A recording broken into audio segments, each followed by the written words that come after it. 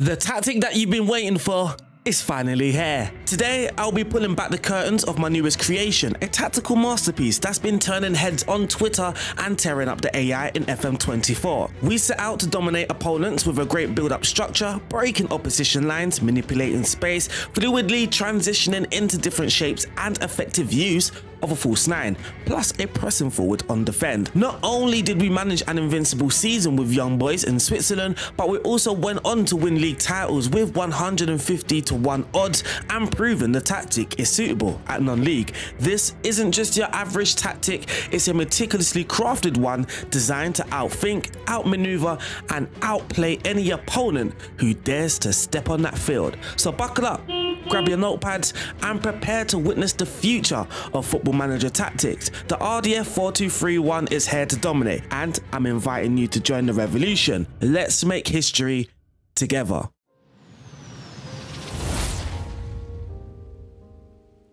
I hope you like that intro. But now we are going to break down the tactic in three parts to build up structure, the attacking play, but also the rest defense and why it's so effective for our tactic. The team's tactical setup features a 4-2 formation during the initial stages of possession, but it can be flexible as the defensive midfielder on the right has the freedom to advance up the field. The primary goal during the build-up is to stretch the opposing team's defensive line and patiently wait for gaps to appear. Once the opposition's defense is stretch, the team's strategy involves breaking through the lines either by passing directly from the defense to an attacker who can then redirect the ball to another attacker, preferably making a run in behind, or we can stretch the opposition's first line enough to play a line breaking pass into a midfielder. A tool we can use to help stretch the lines of the opposition is working the ball out wide and then moving it back inside. Moving it out wide will attract one of their wide players to press, moving away from essential partners and creating space between them. That's us manipulating and creating space between their wide and central players. Of course, we have to work the ball to exploit the space between the winger or the wide player and his central partner. Furthermore, the wide strikers play a pivotal role in supporting the first and second phase build up by constantly dropping deeper into the midfield to establish a numerical advantage. The team's focus is on playing through the opponents whenever possible, combining in tight areas through the middle or circulating the ball out wide before transitioning it into central areas, effectively exploiting available spaces in the process.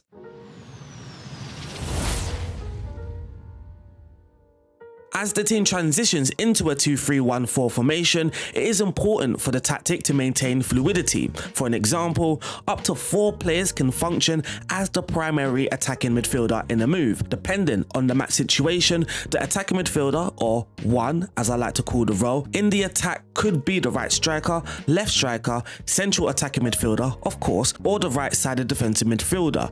Being able to positionally interchange so often and rapidly can hurt any opponent's defensive structure. Even though we're talking about the attack still, the wingback's positioning is key because not only does their patience going forward means we don't get exposed too easily, but it also allows us to keep pressure on should the opponents clear the ball out the box. We are positionally set up to keep the pressure going and going as defenses are now focused on defending their box, which is another trick. We look to get the opposition to focus more on defending their box, therefore having counterattacks as an afterthought. Throughout this tactical approach, the central striker, the main striker, the primary striker's sole responsibility is to score goals, but we want all attackers to be involved in goal scoring so we effectively overload the opposition's box so we can cut the ball back and create high quality scoring chances. If the low cutback option isn't on, floated crosses to the far post is another way for us to create high quality scoring chances inside the box as a result of us overloading it. So in attack, we don't lose out on our fluid movement and interchanging. We are set up to provoke many counter movements as at least two of our strikers will look to drop off their attack line while we have runners from midfield looking to push forward into the attack line. This poses a conundrum for defenders and midfielders on who to mark. For instance, if a centre back opts to close mark a striker dropping deep, it creates space for our attacking midfielder to exploit. It's all about manipulating space. But not everything has to be so structured to a T or just always listening to me. We have three strikers, one being a complete forward. So I do want some expression and I want players taking their initiative. I just have to set the conditions for that to be possible.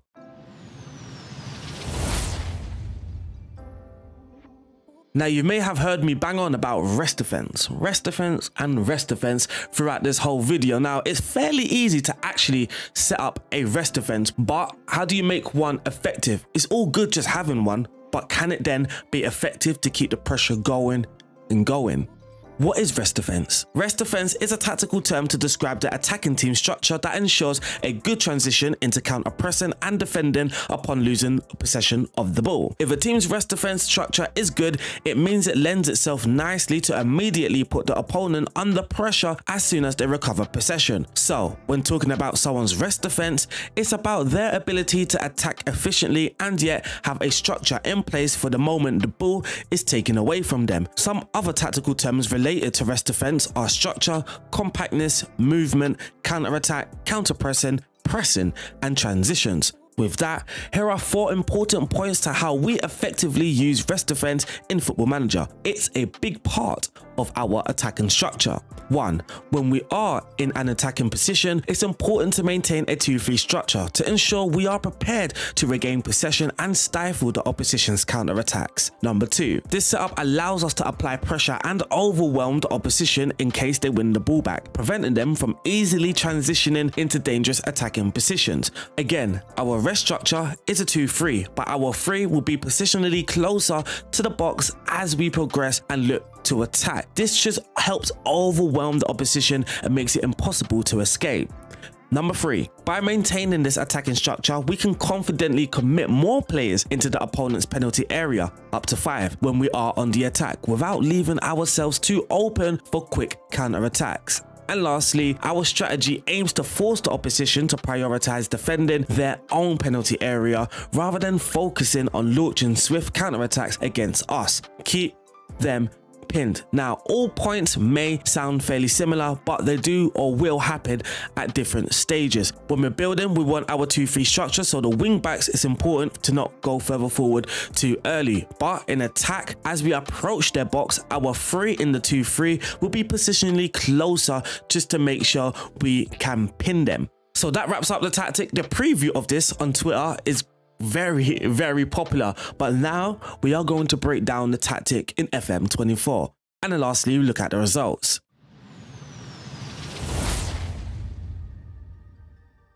Before we do have a deep dive in, I just want to give all of my Patreons a massive shout out and a massive thank you. Each and every single sign up to the Patreon, it, it has a massive effect. It really does have a massive effect on Patreon. What these Patreons do get, of course, some good tactical talk, but some early or bonus content. So this tactic right now that we're going to break down, people on Patreon have already seen this. They've got a tactical breakdown, but they've also seen me play games with it as well. They got the download. They got all the secrets. So please do consider supporting through Patreon. Head over to the Patreon and join man like Steve B, Ozan, Saud, Soran, and Gwen who have recently signed up. Thank you guys, and now I will see you guys in FM. So this is the formation and the sort of backstory to it. First, I selected Young Boys in Switzerland, a very good team, expected to dominate the league. As I was playing and we're getting some great results, I started to look at the squad and I'm like, one second, this sort of suits Manchester United.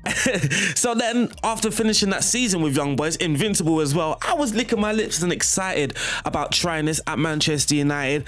And then when I did, got to Manchester United, we realized the squad is quite literally perfect for the tactic. So we are using a sort of, it's a 4-2-1-3. I guess you could say a 4-2-3-1. I don't care what you call it. We're just going to call it the RDF uh, tactic. Uh, and this is the player roles that I was just doing, sorting out. Here are the player roles. So in goal, we do have the sweeper keeper on support. I think he's not even on attack. He is on support at left back. We've got the wing back on support. Ball, two ball playing defenders at the back and then another wing back on support on the right hand side. These two fellas on support is very important Again, they are key to that rest defense, but also is the fact playing out from the back. That also means they don't make that run too early. In midfield, we've got a defensive midfielder breaking up play. Originally at Young Boys, it was a ball winning midfielder, so the system looked exactly like this at Young Boys. But then at Manchester United and at other clubs, you start to work out tweaks. But there is seven variations to this. Listen closely to in, in this video because I will tell you when to use these variations as well. Or you could just download them, look at your team, make slight tweaks and make it suitable to your team like I did at Manchester United from Young Boys. So in midfield, we do have the parent of a deep lying playmaker, uh, deep lying playmaker, defensive midfielder on support, paired with uh, Segundo Volante, who will be getting further forward. So he's going to get further forward. And now we've just got a bunch of attackers. Now, not everyone's going to be in that attack line. As we said, there's always going to be a one in our system. At the moment, the starting position, that one is an attacking midfielder on attack. And then the last three, the top three, is a complete forward on support, a pressing forward on attack, and a false nine on support. In the intro, I did mention about a pressing forward on defend, and we did use that a lot. At some clubs, we used it basically throughout the whole season. At Manchester, at Manchester United, sorry, we did use it away against the very good teams. For the player instructions, sometimes I do tend to forget that because not always is it make or break these player instructions, but I do forget that a lot of you are playing on PlayStations or whatever it is. So for the wing backs, dribble more, cut inside, and tackle harder. Now, cut inside is very key because I didn't didn't want the wing back to always run wide. It's not going to eliminate him running wide not not at all. But when the opportunity is there to cut inside i actually want him to drive towards the goal and towards the byline further enhancing those cutbacks within the side. Defensive midfielder has take more risk. And the segundo volante has take more risk dribble more and tackle harder. Originally the volante was balancing the risk so if we have a ball winning midfielder on the defend he's dribbling less and taking fewer risks. So then i just manage that balance that risk managed the balance. I managed that risk by getting the Segundo Volante to be the one taking more risk and dribbling more. Moving into attacking midfield, we've got attacking midfielder roaming from his position, moving into channels and tackle harder. Moving into channels now, you might see players doubling up. So the Segundo Volante will attack this area here, so the attacking midfielder will naturally drift to the left hand side. And you'll also see some sort of doubling up. So you will see like the attacking midfielder right under the complete forward. Now it might look unorganized, but again, highly effective in breaking down and use of those overload two versus one. In attack we've got the false nine running wide with the ball staying wider tackle harder and the complete forward doing the exact same thing. Lastly pressing forward has no added instruction. He would have tackle harder but it's already there. Now, because there are seven different variations, we've got the main one. So this is the main one I was using at Gorica in Croatia. Fantastic results. One when you're away against the very good teams. We've got the ball winning uh, midfielder version, of course, that was originally created at Young Boys. We've got ones with the DMs mirrored. So if actually you've got a left footer that's better suited as a Segundo Volante, then there you are. We don't really have to mess with anything else because it doesn't really mess with the dynamics given that the complete forward and false nine will be dropping anyway. We've got a Poacher version. Again, it did start out with a Poacher. And then lastly, we do have the United version where the team instructions are slightly different.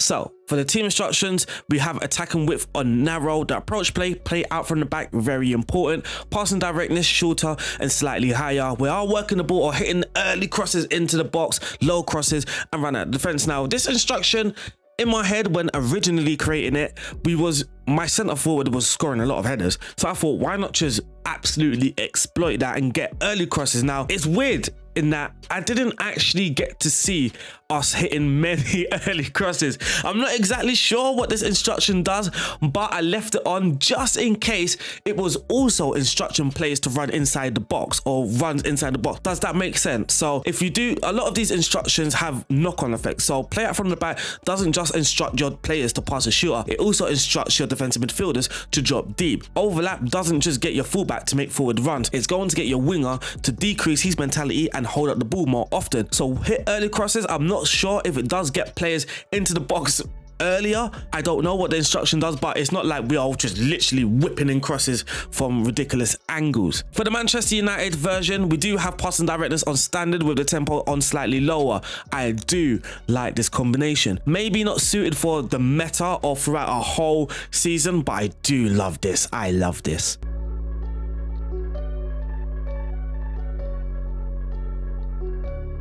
In transition, we are going to counter press and counter when we have won the ball with the goalkeeper distributing the ball quickly and to the centre backs.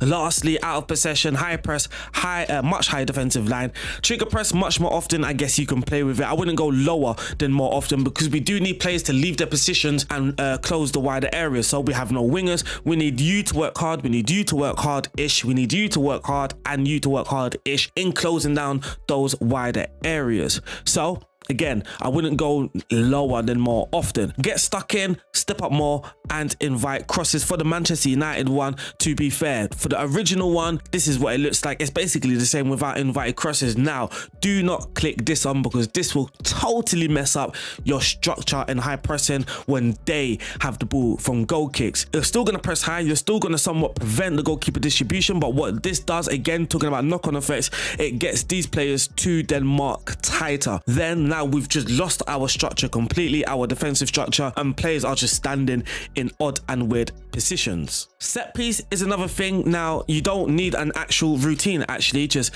click right, click right, click right, click right, click right. And then when you get to the last one, get to in swinger, that's it. Your coach will do everything fancy, everything sorted, and that's it. That is the set piece routine. That wraps up the tactic. Now it's time to look at the results because this actually could be the most interesting part. And we're going to start out with the better results. Well, they're all great results. I shouldn't have said that. I shouldn't have said that. They're all great results, but we are going to look at some of the surprising results first. And then lastly at Manchester United and seeing what we did do. So talking about that perfect squad, I'm so sorry. This is the perfect squad. Garnacho, false nine, Rashford as complete forward, Højlund, Fernandes, Bruno, and then we Fernandes, then Bruno.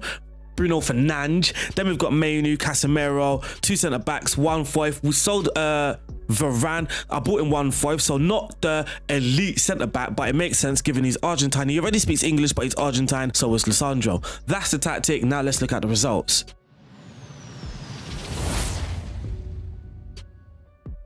Now, as you can see in the screenshot, it was Gorica that was 150 to 1 to win the league. So we, was, we shouldn't be anywhere near the top, but here we are. In the Croatian First League, it is Gorica on top, winning 30 out of the 36, drawing 3 and lo losing 3. Statistically, absolutely dominated with the most goals, most shots for. Just absolute domination. The possession numbers are the most surprising with 64% and 89% pass completion. We did complete the most passes. Alchinum, Alchinum, is that how you pronounce this team's name? I'm sorry if I'm butchering it, but this team were predicted to finish 11th or 18th at the start of the season. So yeah, media prediction 18th here, but the season preview 11, and they were 50 to 1 to win the league. But my God, we absolutely dominated, losing 3, drawing 12, and winning 31. 128 goals, again, just dominating statistically. Now, this is where we initially created the tactic, young boys. We played 38, winning 33, drawing 5, losing none at all. But with young boys, we also did get to the round of 16, which is actually very impressive. I mean, we could look at the board expectation, the performance here, 75%. And I also want to show you our results in the Champions League because again, it's just very impressive in the fact that we were able to beat Real Madrid at home. That match is on my Twitter, by the way. The whole match is on Twitter, me playing that. We beat Shakhtar twice, scoring four goals twice. Uh, PSG getting a 3-3 draw at home. We did get battered away from home though at PSG. And then um, against Inter, we lost two times, but we were competing and that's all we could ask for. Stats, again, completely dominated. And lastly, Manchester United. You would have seen me on Patreon playing games with Manchester United where we won the league losing five, four of those away from home, annoyingly, against all the good teams as well, annoyingly, drawing two and winning 31. We got knocked out in the Champions League semi-final, but we did win the FA Cup 3-2 and the Carabao Cup as well. We ran out as the winners. Looking at the stats, we scored the most goals, most shots for. Defensively, eh. Conceded though, and most clean sheets. Possession wise, 56% of the ball. But unfortunately, that wraps up today's video. I hope you guys have enjoyed it. Don't forget, if you are considering supporting me, then do that through Patreon. I love you guys. I love you guys. Stay safe. God bless. Peace out. Boop.